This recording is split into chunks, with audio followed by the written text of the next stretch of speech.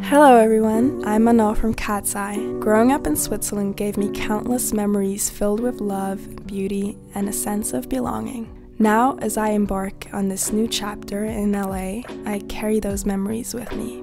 There's something about special moments with my family back in my childhood in Switzerland that I hold dear to my heart. Now, living in LA and being a part of KATSEYE, I find myself missing home more than ever.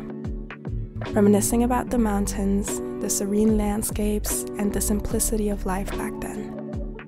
I remember this one time my family and I went on a hike in the Swiss Alps, and we stopped by this beautiful, breathtaking lake. I was there, playing in the shallow water with my favorite doll, completely engrossed in my own world. But then I lost it. Despite my efforts, I couldn't find it anymore. Yet, in my search, I stumbled upon something unexpected a crystal.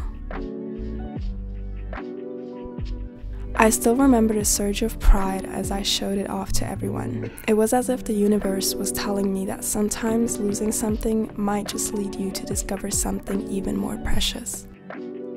This experience mirrors my journey with KATSEYE in a way. There were moments during our training when I felt lost, questioning my path and my abilities. But just like when I found that crystal in the Alps, I found something else in my search for self assurance my own potential.